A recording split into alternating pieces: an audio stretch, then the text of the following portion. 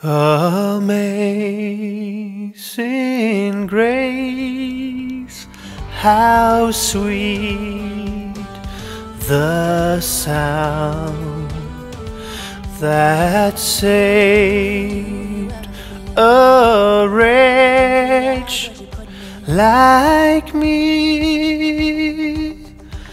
I once was lost, but now am found. Was blind, but now I see.